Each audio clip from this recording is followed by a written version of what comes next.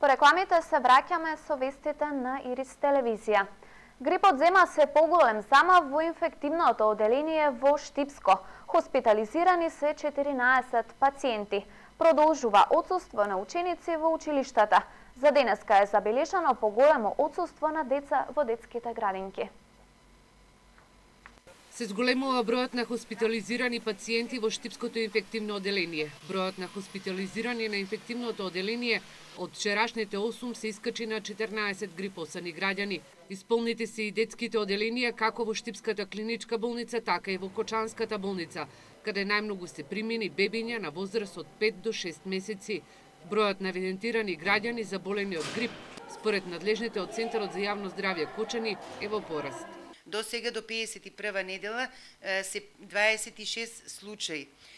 Меѓутоа, кога зборуваме за паралелно со пријавувањето со, за грип, имаме и алерт систем на пријавување, тоа се симптоматско пријавување неделно исто, значи во однос на 4 недели наназад, кога имавме 330 350 случаи на горно респираторни заболувања, сега бројот е зголемен двојно, значи околу 600 случаи неделно, што се однесува и до регионот што го покрива Центарот за јавно здравје и тука состојбата во моментот е релативно мирна, така да имаме податоци за Виница имаме 4 лица до сега пријавени од заболени од грип, во Пехчево 8, во Делчево 3, а во Берово немаме пријава за болен од грип.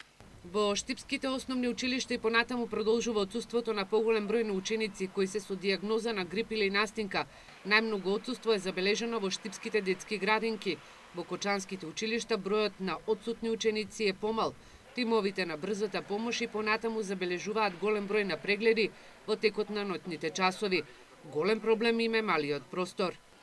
Па, мислам дека ќе се реши тој проблем, затоа што е во тек веќе изградбата на а, клиничниот центар во Штип, каде што може да се види дека е веќе во средината на фазата на изградба. Лекарите апелираат на своја рака да не се зема терапија, туку веднаш да се јават на преглед кематичниот лекар, кој ќе им ја препише соодветната терапија.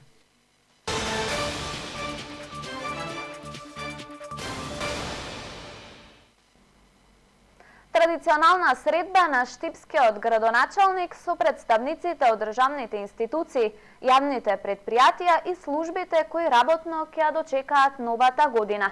И годинава и додели вредностни ваучери од 3000 денари на вработените во брзата помош, филтер станицата против пожарната единица. Дежурните служби им ветија на граѓаните дека ќе имаат мирна новогодишна ноќ. И годинава традиционално штипскиот градоначалник Захариев пред новогодишно организираше прием за представниците од локалните и државните институции кои работно ќе ја дочекаат новата година. Задоволени од нивната работа во тековната година, сметајќи дека истите ќе дадат се од себе и празниците да поминат во најдобар ред. Одговорните од дежурните служби ветија дека посветено ќе работат и за време на празниците, се во интерес на граѓаните, на кои им ветија дека ќе имаат мирна новогодишна ноќ би сакала да се заблагодарам за наградата во име на сите вработени во филтер станицата. Тие како и секој друг ден од годината, така и за време на празниците ќе бидат работно ангажирани, се со цел граѓаните да добиваат здрава и чиста вода за пиење. Новогодишната ноќ да помине без сирени на противпожарните возила, порача и од територијалната противпожарна единица да внимаваат за новогодишната ноќ. Оваа година значи имавме големен број на интервенции за разлика од лани. Се надеваме дека во 2017 година ќе имаме се помалку работа. Идната медицинска помош ќе дежура за празниците како и досега во интерес на граѓаните кои ќе бараат лекарска помош. Годината ја оценија како успешна. За изминатата година дека се направија и обуки на тимовите во идната медицинска помош, тие обуки ќе продолжат и во до година. А, да кажам дека и добивме 8 ноемвриска награда, која што представува прва награда во историјата на итната медицинска помош на град Штип. Центарот за управување со кризи будно ја следи состојбата 365 дена во годината. Оттаму се надеваат на помалку работа и повици за елементарни непогоди. Се надеваме дека оваа поработка, соработка и понатаму ќе продолжи и се надеваме дека тие информации кои ги собираме ќе бидат од позитивен карактер, односно нема да произлектуваат негативни последици по обштественото живење. Признанија добија и двете штипски јавни предпријатија, Стипион и Исар, кои годинава наградот само на улично осветлување заштедија 10.000 евра. Многу му се заблагодарувам на градоначалникот за оваа награда и да гледат од ЈП Стипион сите да бидат примерни и добри работници. Од досега сработеното штипскиот градоначалник генерално е задоволен. Институции во овој град се многу значајни и битни за да градот не функционира на како што треба да функционира, да граѓаните едноставно добијат корис и бидат заштитени од се она што значи и болести, заштита на нивниот имот, заштита од елементарни непогоди, и затоа денеска ги примив институции, чисто да им дадеме едно признание за се она што го сработија минатата година, со врска да идната година бидат уште поактивни, поорганизирани, попрофесионални, Годинава на прием кај градоначалникот немаше представник од полицијата. Градоначалникот на представниците од сите институции им врачи ваучери од 3000 денари. Смета дека тоа е скромен подарок, на сепак е добра порака и потик за поголеми успеси и во следната година. Советот на Обштина Штип денеска го донесе буџетот за 2017 година. Штипскиот градоначалник Илчо Захариев вели дека половина од средствата од буџетот ќе се искористат за капитални инфраструктурни проекти.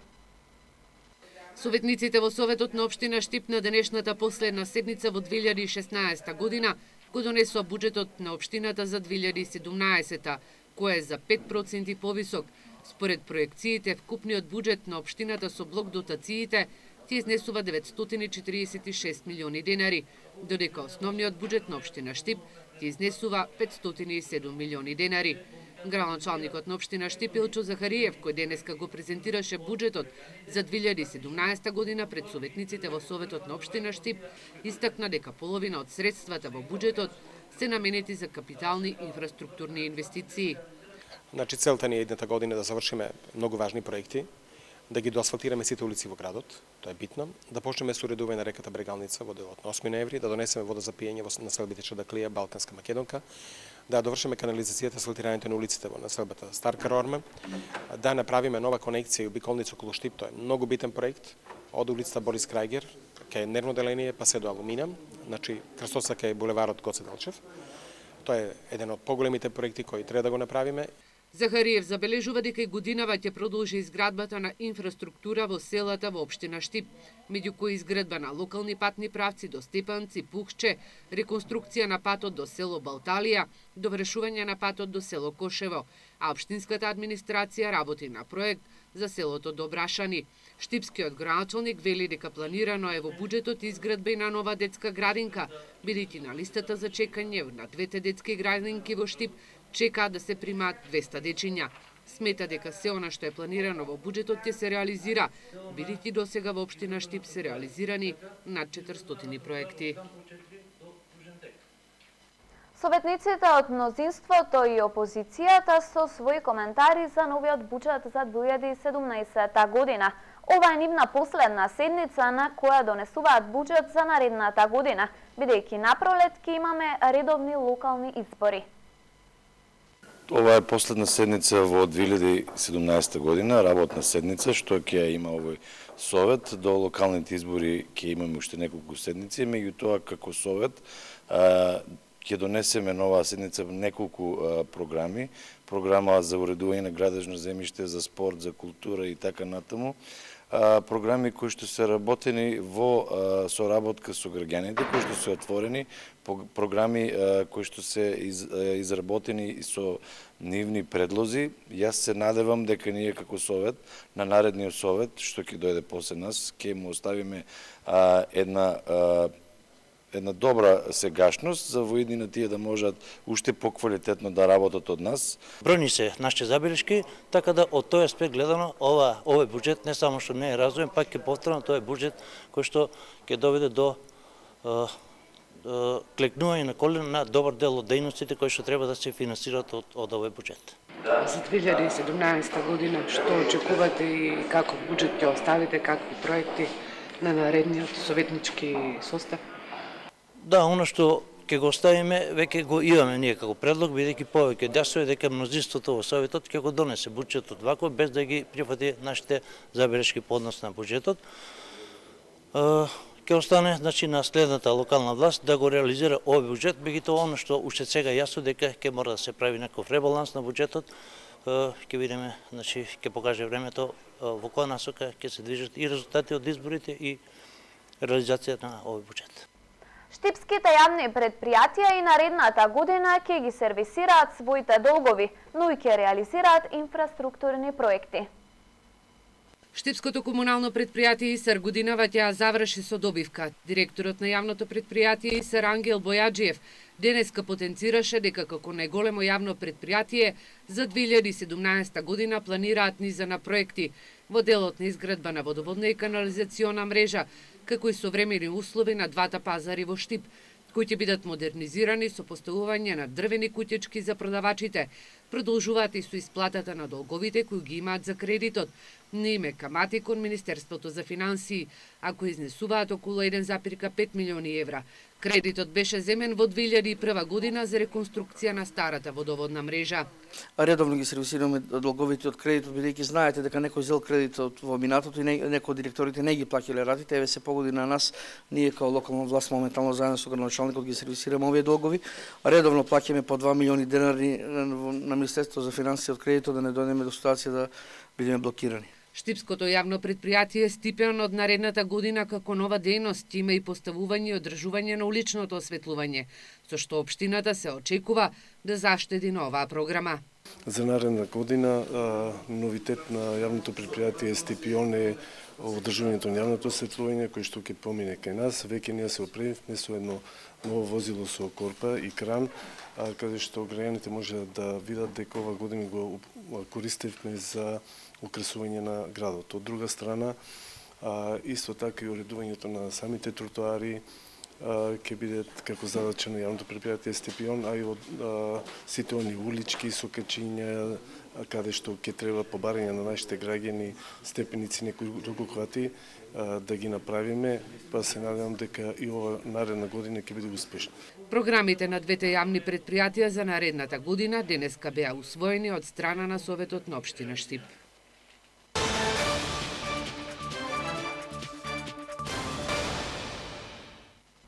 56 годишен кочанец почина во сообраќајна несреќа. Причините за смртта дополнително ќе се утврдуваат. Предпоставка на надлежните е дека му се слушило, изгубил контрола над воланот и удрил во две возила на улица во Кочани. Изгубил контрола над воланот, удрил во две возила и починал. Причината за смртта на 56 годишниот возач од Кочани кој починал откако предизвикал сообраќајна несреќа на улицата Страшо Ербапче во Кочани, дополнително ќе се утврдува. Според сопругата на починатиот, која била сопатник во возилото, на незиниот сопруг му се слошило пред да удри во возилата кој доаѓале од спротивен правец. На местото на несреќата пристигнала брзата помош, но лекарите само констатирале смрт кај возачот. Увид бил извршен од јавен обвинител и екипа на Кочанската полиција. Рано утринава во Кочанско полицијата регистрира уште две сообраќени несреќи. Првата во 8 часот и 10 минути, втората 10 минути подоцна. На влезот во Кучани, 46 годишна жена возач со автомобилот тико удрила во електричен столб. 10 минути порано во Градовци, 29 годишна кучанка со возилото Hyundai удрила во порта од дворна куќа. Се здобила со тешки телесни повреди, пренесена е во Штипската клиничка болница. Во незгодата со повреди се здобили и тројца со патници во возилото. Невладината организација ЕХО и наредната година ќе продолжи со проектите поврзани со пристап до правда. Семејното насилство како проблем во современото живење за ЕХО останува да биде приоритет. Едукативно-хуманитарната организација ЕХО Штип оваа година успешно реализираше проектни активности поврзани со пристапот до правда. Во оваа година Имавме активности од неколку годишните проекти Пристап до правда во Македонија, а, олеснување на пристапот до малите микропредпријатија до јавните набавки. Понатаму тие два проекти продолжуваат и во 2017 година и таму ќе финишираат. На нив ќе се надобра за други активности во зависност од повиците на донаторите. А, завршивме значи, со активности од областа на наблюдувањето на трошењето на политичките партии единиците на локална самоуправа, како и проектот Чуварки на буџетското кесе, каде што изготвивме а, анализа, кост-бенефит анализа, еден извештај за тоа колку буџетите на општина Штип и општина Струмица се родово одговорни. Она што значеше правно описменување за граѓаните, активностите задоволни за како се реализираат? Правното описменување на граѓаните да е една мощна интересна активност која што го прави ЕХО во рамки на пристап до правда проектот. А, во Штип беше одржана една таква работилница, тоа сесија за правно описменување на тема работни односи. Наредната година ќе има уште една сесија на тема права од областа на социјална заштита, а дополнително и во други градови како партнерска со нашите партнери беа вакви сесии одржани. ЕХО контуинирано работи и на аспектите поврзани со семејното насилство. Семејното насилство ЕХО го работи долги години наназад, без разлика на тоа дали имаме донатори кои што финансираат работата на ЕХО на оваа област. Затоа и ова кост-бенефит анализа која што направивме, а што се однесува на а, трошоците што ги има една организација за минималните трошоци за заштита, спроведување активности за заштита и превенција од семејно насилство. За 2017 година едукативно-хуманитарната организација ЕХО планира да реализира форуми кои се поврзани со правното опесменување, но исто така и едукација на граѓаните за поуспешно справување со проблемите од семејното насилство. Макфест до година најверојатно ќе се одржи во октомври. Денеска е објавен огласот за нови 30 композиции. Организаторите најавија новини за следното издание на Макфест. Оно што е ново во смисла на самиот конкурс е дека одредени промени претрпе правилникот за организирање на Макфест и во, во, од тој аспект оваа година композиторите во рок од два месеци, значи заклучно со 27 февруари, треба да достават своји композиции кои што не треба да бидат како изминате три години со испишани комплетни аранжмани, туку едноставно со испишана мелодиска линија и хармонски символи и демо снимка на аудио CD.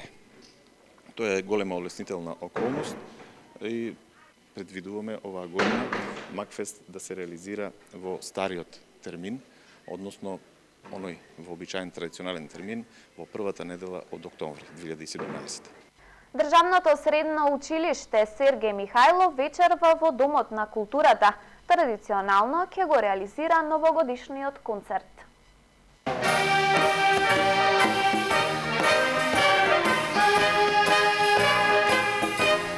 Традиционално по петти пат во Центарот за култура Ацошопов, новогодишен концерт на Штипското средно музичко училиште Сергеј Михајлов. Оваа година соработката е со Факултетот за музичка уметност при Универзитетот Гоце Делчев.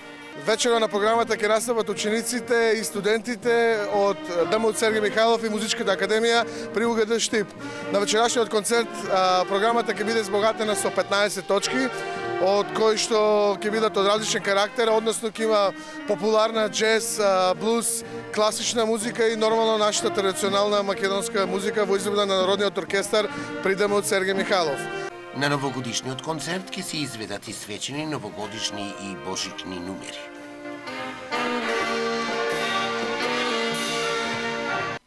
Тоа беше се во вестите на Ирис телевизија. За повеќе информации на iris.mk. Пријатна вечер!